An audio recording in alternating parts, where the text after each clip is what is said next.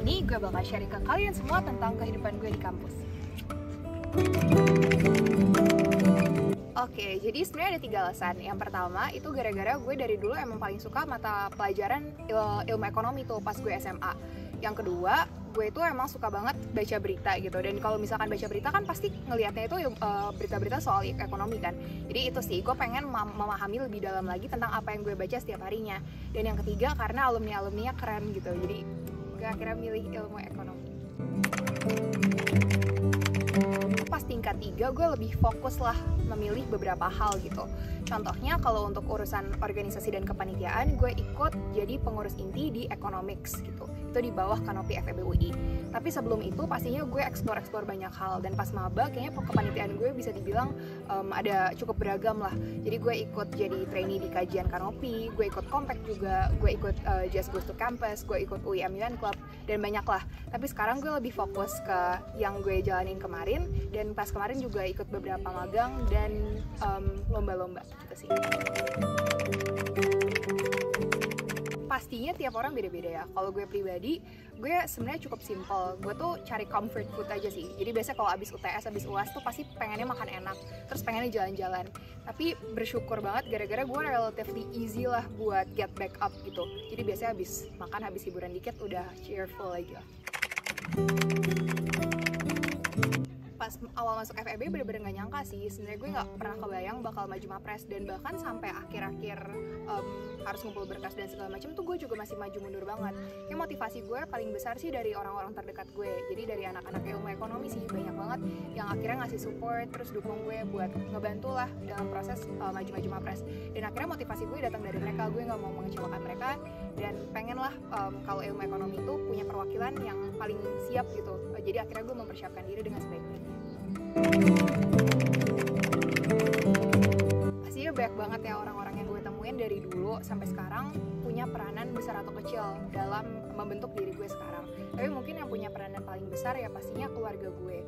Jadi almarhum um, bokap gue nyokap gue sekarang terus adik gue juga dan gak cuman mereka-mereka aja tapi juga teman-teman gue sih. Jadi dulu tuh dari SD tuh gue punya satu kelompok teman yang gue tuh temenan dari SD SMP sampai SMA gitu. Mereka super super suportif dan di kuliah juga kayak teman-teman gue sangat amat baik sih. Jadi ya mereka-mereka lah yang bantu membentuk gue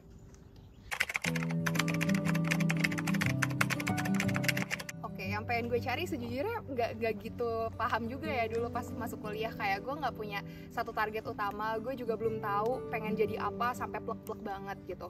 Tapi sekarang setelah gue masuk FEB kayak gue udah mulai lebih jelas lah karena udah jalanin juga kan beberapa tahun udah cukup ekspor ekspor juga. Yang paling penting sih gue pengen menjadi sosok yang berguna bagi masyarakat gitu. Gue ngeliat kalau misalkan um, ekonomi ini career pathnya banyak banget. Dan banyak juga yang sebenarnya agak cukup risky lah ya. Um, misalkan kayak kerja di perbankan bisa menyebabkan perekonomian itu menjadi tidak stabil kayak gitu kan banyak cerita-cerita kayak di film Big Short gitu. Nah jadi gue tuh pengennya tuh gue berkarir um, yang bisa membantu perekonomian untuk tumbuh dengan lebih baik lagi sih. Gitu. Sekarang interest gue mungkin di bagian investing. Buku kesukaan gue kalau misalkan non fiction itu udah pasti Becoming sih Michelle Obama.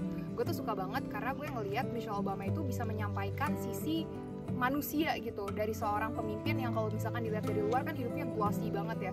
Um, sebagai kayak the the lady gitu first lady of the US gitu. Tapi sebenarnya dalam buku itu dia cerita kalau misalkan dia itu dari kecil juga seperti orang-orang pada umumnya orang-orang biasa datang dari keluarga yang sederhana.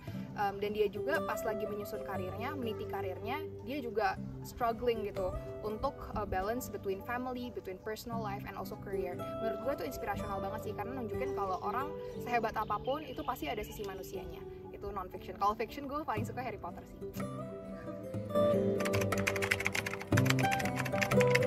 yang pertama mentalitas pastinya harus nggak boleh takut buat kalah sih itu karena kalau misalkan takut buat kalah most likely nggak bakal ikut-ikut lomba gitu. Jadi harus takut harus nggak nggak boleh takut buat kalah. Tapi kalau misalkan untuk tips menang gue ada dua sih yang paling utama. Yang pertama itu kalian harus banget namanya hearing. Kalau di FE kayak kulturnya tuh hearing banget ya. Jadi apa apa kepanitiaan pasti nanya-nanya dulu sama senior gitu. Menurut gue lomba juga harusnya sama gitu. Jadi coba nanya-nanya ke orang yang pernah ikut lomba yang sama tapi sekarang kan banyak lomba-lomba baru. Jadi yang bisa kalian lakuin mungkin ya tips kedua gue ini yaitu kalian minta pendapat gitu. Jadi kalau misalkan kalian udah bikin proposalnya kalian udah ada ide itu kalian hiringin ide kalian. Itu sih yang gue lakuin di latest lomba gue gitu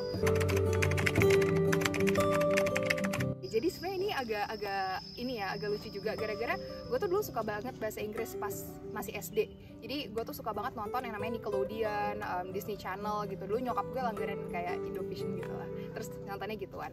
Tapi dulu tuh gue nggak jago bahasa Inggris. Jadi walaupun gue suka banget bahasa Inggris um, gue nggak jago. Dan pas SD tuh gue inget teman-teman gue pada kepilih buat lomba spelling bee tapi gue nggak kepilih. Dan gue bahkan kayak coba buat ngajuin diri secara independen tapi kata guru gue masih kurang mampu gitu. Jadi yang ngubah gue menurut gue tuh guru SMP gue sih. Jadi gue show great interest gitu pas kelas bahasa Inggris udah ada di SMP dan dia tuh supportive banget. Dia akhirnya daftarin gue ke lomba storytelling gitu lomba speech dan dari situlah gue develop kayak English skill gue gitu. Karena support guru sih kalau rutinitas sebenarnya beragam ya dulu pas masih kuliah dan sekarang kalau sekarang karena lagi libur gue kebetulan lagi magang. Jadi rutinitas gue setiap harinya gue bangun pagi biasanya bangun sekitar jam setengah tujuh terus gue siap-siap sarapan segala macam. Dan akhirnya gue berangkat ke kantor. Nyampe kantor sekitar jam 8.30an terus ngantor tuh sampai jam setengah enam jam enam. Abis itu biasanya gue spend time sama teman-teman sih karena sekarang gue kebetulan lagi ngekos deket kantor. Jadi lebih deket lah sama teman-teman ketimbang rumah asli gue. Jadi rumah asli gue tuh agak jauh guys. Jadi orang-orang tuh pada suka males gitu kalau misalkan datang ke sana. Sekarang karena gue udah di pusat pusat kota lebih deket lah gitu lebih strategis jadi bisa main sama um, anak-anak.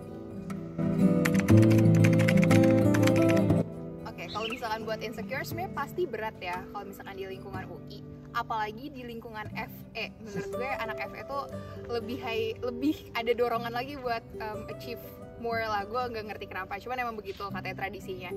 Um, menurut gue ada dua hal sih yang bisa kita lakuin. Yang pertama itu put mindset kayak have the mindset kalau misalkan semua orang tuh pasti punya waktunya masing-masing gitu punya timelinenya masing-masing. Dan ini tuh bisa kalian lihat juga dari kakak kelas kakak kelas dari senior senior kalau kalian lihat alumni yang udah sukses mereka tuh punya timeline yang beda-beda. Ada banget yang bahkan kayak baru magang di, um, di tingkat tiga akhir gitu uh, terus sekarang kayak udah udah ke mana-mana gitu. Jadi menurut gue coba deh lihat-lihat alumni terus kalian bisa lihat sendiri lah kayak bukti nyata kalau orang-orang itu yang sukses tuh emang timelinenya beda-beda gitu. Jadi nggak usah insecure. Yang kedua usaha pastinya gitu. Jadi berusaha buat uh, ningkatin kondisi kalian gitu state kalian biar kalian jadi less insecure. Pokoknya do things yang bikin kalian lebih dekat ke end goal kalian lah bisa dengan cara kalau misalkan pengen nyoba magang nih misalkan. Menurut gue magang sih yang kayak um, biggest insecurity ya terutama pas gue dulu masih awal-awal gitu. Mungkin cara buat lebih dekatnya adalah kalian ikut lomba yang relevan misalkan ikut business case atau apa gitu. Cari pengalaman organisasi sehingga pas nanti interview kalian kan bisa jelasin soal pengalaman kalian kan dan bisa lebih deket lah dengan securing magang itu. Menurut gue gitu sih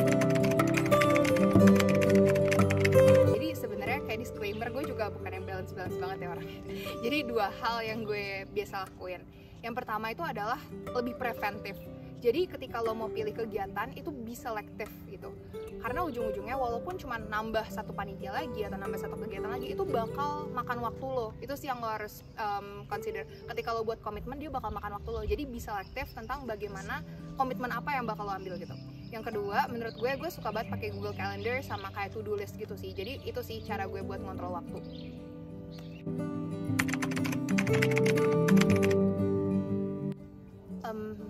Enggak juga sih.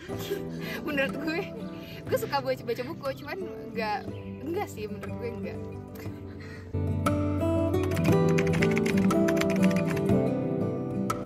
dong apalagi mapres sekarang itu butuh kegiatan organisasi juga by the way buat daftar jadi emang harus seimbang.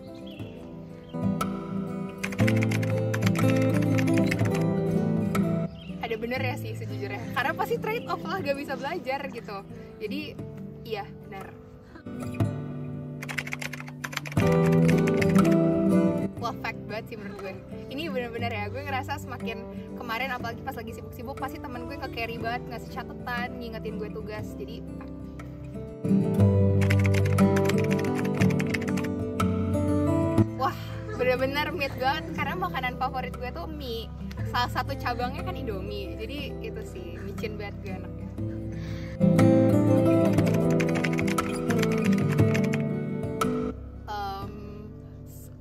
sih pastinya. Gara-gara jalur olim itu kan ada ada jalur olim sebenarnya kalau di FEB tapi itu sebagian kecil aja. Uh, fun fact gue juga anak olim sebenarnya tapi gue cuma nyampe tingkat provinsi jadi nggak kehitung sih nggak lulus. Cuman emang banyak anak-anak yang pernah olim oliman kayak tingkat provinsi tingkat kabupaten gitu. Tapi mostly nggak pernah sih. Jadi ya.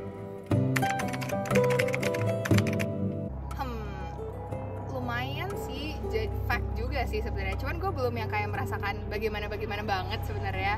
Um, cuman gue denger dari teman-teman gue itu membantu sih. Uh, enggak sih menurut gue. Karena malahan lo tuh butuh teman-teman lo buat ngasih support. Pas gue lagi persiapan mapres tuh gue sering banget kontak teman gue sih. Sering banget juga kayak ngumpul bareng mereka buat persiapan. Karena kalau sendirian itu benar-benar dimotivating menurut gue karena banyak yang harus disiapkan. Jadi menurut gue enggak sih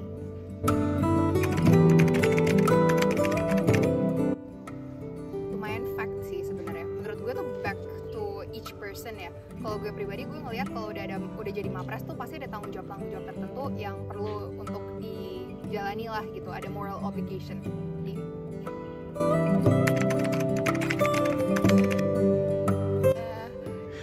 Eh, sih sejujurnya. Karena gue sering ngeliat kayak teman-teman tuh pada main game. Bahkan pas gue film Mapres UI ada temen gue yang main Genshin lagi seleksi lagi nunggu terus sering main Genshin. Dan menurut gue tuh mid tapi gue pribadi gue gak gitu main game karena gak jago aja sih Hai semuanya, jadi pesan gue adalah kalian enjoy your life at FEUI Menurut gue kehidupan di FEUI sangat amat dinamis, menyenangkan. Dan gue ngerasa tiga tahun gue ke belakang ini bener-bener life changing lah gitu. Dari diri yang gue mas diri gue yang masuk ke FE untuk pertama kalinya Dan sekarang gue bisa ngeliat perubahan yang besar gitu. Uh, Dan tentunya semoga, semoga positif. Gue liatnya besar sih tapi positif atau gue gak tau ya. Cuman semoga positif. Um, Cuman jadi pesan gue buat kalian uh, Have fun, apalagi kalian bakal offline kan. Have fun and good luck Satu, dua, tiga. See you in the next PLTM.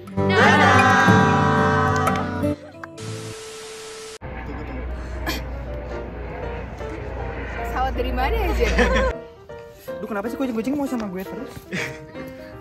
Satu, dua, tiga. Halo FEBUI, kenalin gue Tasya Salensia dari Ilmu Ekonomi Angkatan 2019 Satu, dua, tiga siapa, anjir? Keluar, keluar, keluar, keluar. Oh, ntar, oh, ntar kita berarti pas ada Tasya aja gitu kita dua tiga kata si ngomong kita ada lagi Iya, kita ikut dadah juga. Dadah